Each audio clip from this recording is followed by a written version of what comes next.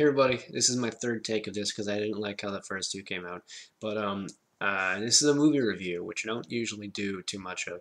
But I'm going to start doing it after I see a movie. And sorry if I'm a little low or the the setup is different. Honestly, it's probably better than my older one because it's like, you know, a blank wall and such. Kind of like Nostalgia Critic-esque. But um, yeah. Uh, this is a review of 10 Cloverfield Lane, which pretty much everyone's doing now because Holy shit. My very first reaction when I saw this movie was because I was still shaking like a leaf 10 to 15 minutes after this movie because holy shit, guys. This is a very intense movie.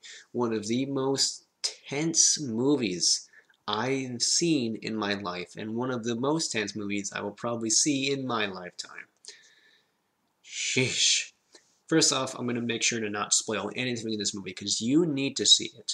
Although I don't know if it's related to the original Cloverfield. It might be, but it's nothing like Cloverfield. I'm going to tell you that much. It's nothing like Cloverfield. There's no giant monsters and explosions. Well, there's no giant monsters and explosions and stuff. So, anyway, uh, the movie is very enclosed. It has a very small set, very small budget uh, or at least small-ish budget, not like found footage, shitty kind of stuff budget.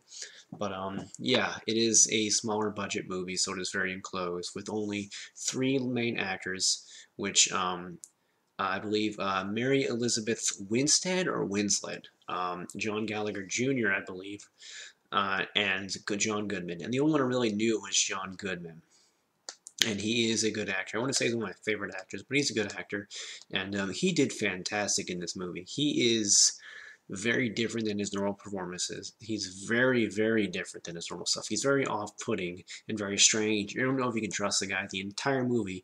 You don't know if he's true or not. And then um, uh, Gallagher or and John Goodman was Howard, his character, and then Emmett, played by Gallagher. Um, not Gallagher as in pumpkin, but you know, not pumpkin, watermelon. Fuck.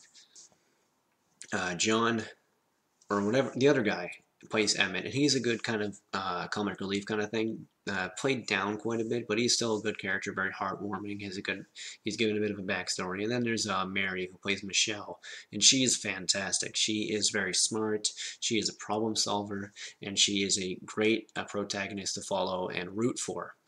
And uh, the, like I said, the movie is very, very tense. It's very well directed, and it has a wonderful, wonderful script that gives to a lot of moments that really make you stay on the edge of your seat and have that heartbeat racing like ridiculously. It's it's really crazy. It's it's very fantastic. Uh, but if you go into the mindset thinking this movie is going to be like Cloverfield, then you're probably going to be disappointed. But if you go into the mindset of being like, I have no idea what this movie is going to be like, let's see it, you're probably going to love it because like I said, it's fantastic. It is a very good movie. The acting was all really good. The the, uh, scene, the, the bunker looked really good. It looked very realistic, like some psycho guy or uh, conspiracy theorist would build this. So that was good. Um, there is a twist at the ends and it was very unexpected, very jarring.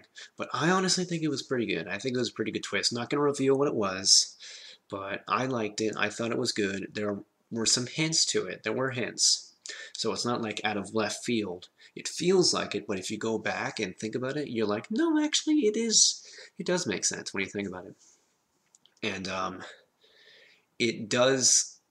It's just. It's a very jarring movie. It's very different I guess, and things I've normally seen. But I really did enjoy it. Um, it's been in my head, and I think you guys should see it because it is one of the best movies of the year so far. So, my final rating for 10 Cloverfield is an 8.5 out of 10. A really good movie.